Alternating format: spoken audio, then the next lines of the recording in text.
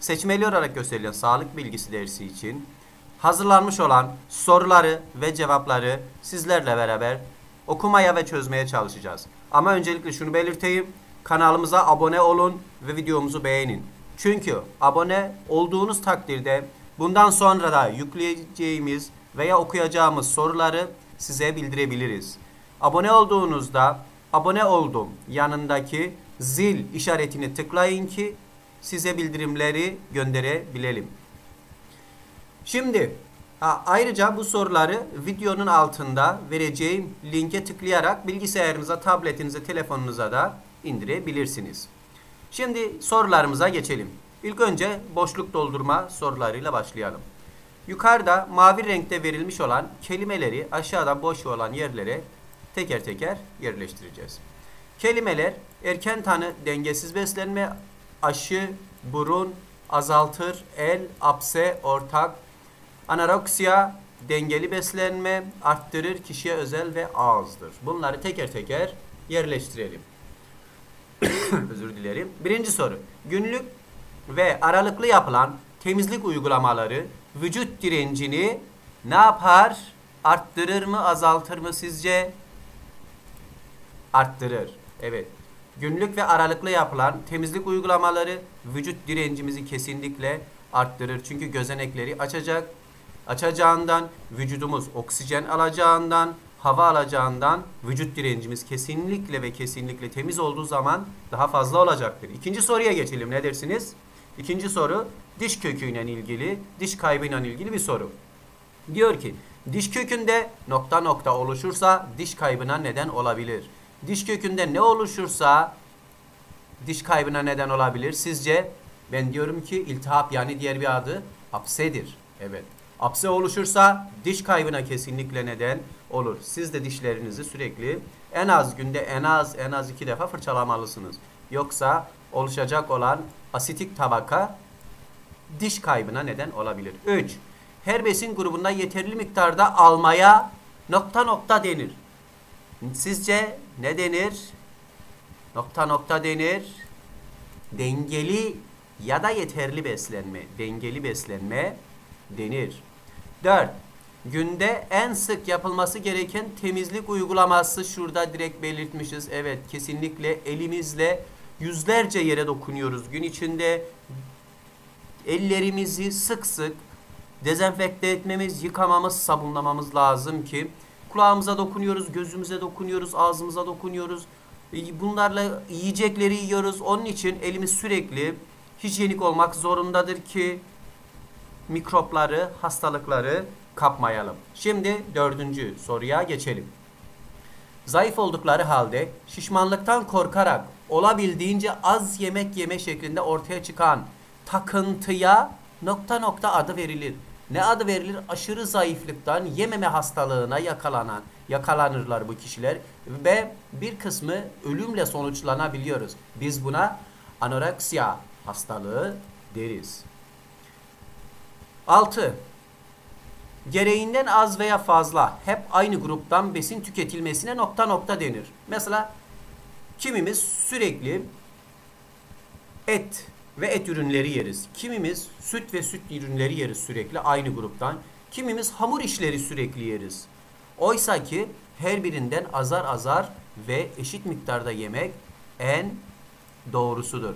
Yani biz buna ne deriz? Dengesiz beslenme, tek yönlü beslenme deriz. Tek yönlü beslenmeye dengesiz beslenme denir. 7. Soluk almanın dan nokta noktadan yapılması üst solunum yolu enfeksiyonlarına neden olur. Evet e, soluk almayı ağızdan yaptığımızda mı üst solunum yolları hastalığı var? Burundan aldığımızda mı acaba? Siz ne dersiniz? Evet cevabı duydum. Ağızdan sürekli soluk alırsanız, nefes alırsanız üst solunum yolu enfeksiyonlarına açık hale gelir ve üst solunum yolları enfeksiyonu hastalıklarına yakalanırsınız. Çünkü direkt ağızdan aldığınız hava içerisinde beraberinde mikropları alabileceği için onu engelleyecek hiçbir şey yok ağzımızda. Ama burundan aldığınız zaman burunda onu engelleyecek kıllar vardır en azından ve mikropları az da olsa elleyebiliyor. Onun için ağızdan aldığınızda üst solunum yolu enfeksiyonlarına yakalanabilirsiniz. 8.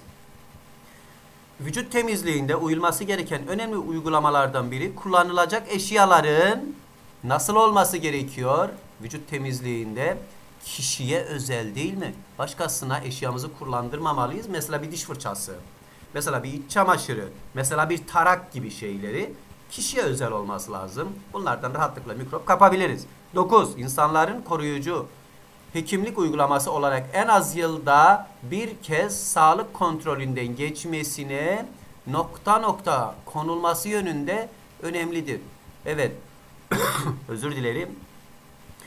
En az bir defa sağlık kontrolünde geçersek herhangi bir hastalığa yakalanmışsak biz erken tanı ya da erken teşhis konulması yönünde çok önemlidir ve hastalıkların ciddi hastalıkların önüne geçebiliriz bu şekilde. 10. Vücudun bazı hastalıklara direnç kazanması nokta nokta yapılarak sağlanabilir. Ne yapılarak sağlanabilir sizce? Cevap, cevap, cevap. Aşı. Aşı çünkü ne? Vücut direncini arttıran bir şeydir. Bağışıklığımızı güçlendirir çünkü aşı yaptırılarak sağlanabilir. Şimdi sıra klasik cevaplı sorulara geldi. Şimdi klasik cevaplı sorular diyor ki diş çürümelerinin nedenlerinden 3 tanesini yazınız. 3 tane ne olabilir sizce diş çürümelerin nedenlerinden? 3 tane. Evet şimdilik boğazım kurudu. Biraz ara vereyim. Evet gençler boğazımda bir gıcık oldu. Durdurdum. Geri geldik. Evet. Klasik sorulara geldik. Aşağıdaki soruları cevaplandırınız. Diş çürümelerinin nedenlerinden 3 tane yazınız diyor. Diş çürümelerinin birçok nedeni var. Bu nedenleri sizlere hemen belirtelim şu şekilde. Diş çürümelerinin nedeni çok fazla. Şöyle ki 1. Büyüme ve gelişme döneminde kalsiyum, fosfor ve florür bakımından yetersiz beslenin, besinlerin alınması. Yani çocuklar büyüme döneminde kalsiyum, fosfor ve florür eğer yeteri kadar alırsa diş çürümeleri oldukça az olur. 2. Şekerli besinlerin aşırı tüketilmesi. 3. Yumuşak besinlerin aşırı tüketilmesi diş çürümelerinin nedenleridir. Dişlerin fırçalanmaması ya da yeterli fırçalanmaması, sık sık gebe yani hamile kalınması, gebelikte ağız bakımından yeterli özenin gösterilememesi ki çünkü hmm, hamileyken e, hamile kadınlar yeterli tedaviyi alamazlar. Birçok tedavi sakıncalıdır. Bu yüzden diş dökülmelerine neden olur.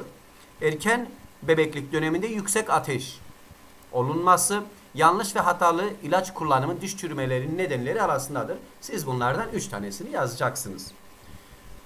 İkinci klasik sorumuz hastalıkların bulaşma yolları nelerdir? Yazınız.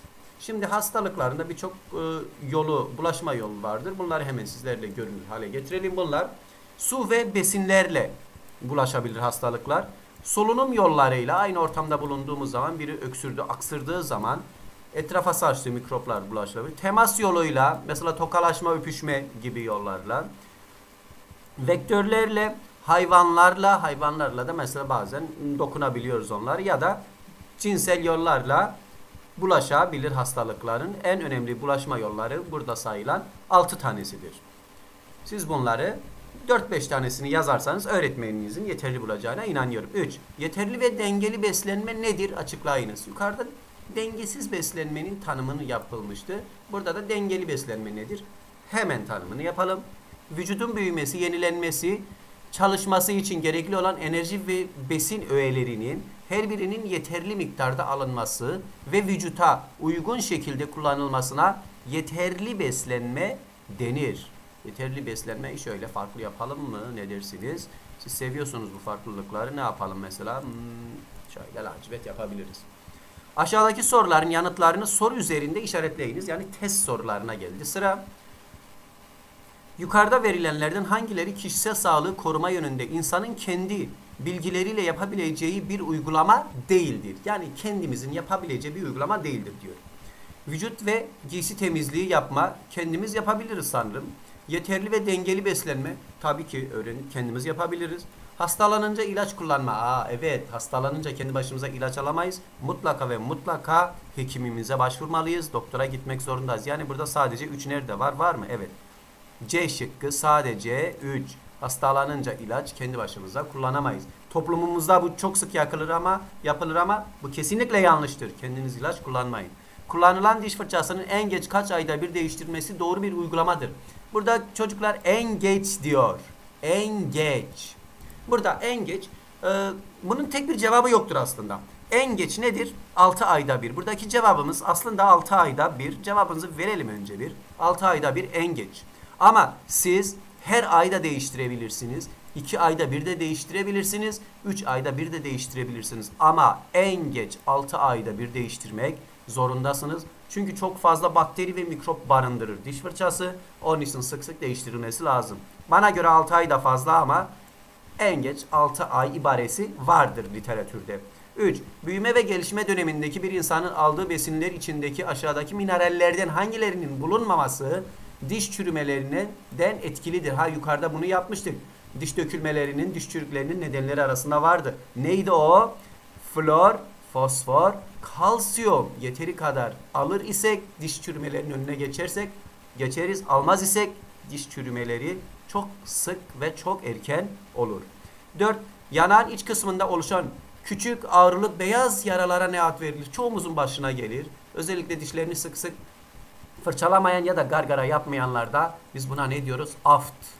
Aft denir arkadaşlar. İç kısmına oluşan küçük ağrılı beyaz yaralara aft denir. Bazen su içmeye bile engel olabilir bunlar. 5. Aşağıdakilerden hangisi günlük ve aralıklı yapılan temizlik uygulamalarının sonucundan ortaya çıkan bir durum değildir? Vücut direncinin düşmesi, organların ge gerektirdiği gibi çalışması, iş yaşamında verimli başarılı olunması, mikroorganizmalardan ve parazitlerden korunması, toplumsal sağlığın geliştirilmesi. Evet burada vücut direncini düşürmez, tam tersine vücut direncini arttırır temizlik. Çünkü gözenekleri açar temizlik ve vücut oksijen alır ve vücut direnci artar. Evet sorularımız bu kadar. Umarım bir faydamız olmuştur. Videomuzu beğenin ve kanalımıza abone olun ki bundan sonraki soruları da size gönderebilelim, bildirimde bulunabilelim. Hoşça kalın. Videonun altındaki linki tıklayın, sorularınızı indirin. Yazılıda başarılar diliyorum arkadaşlar.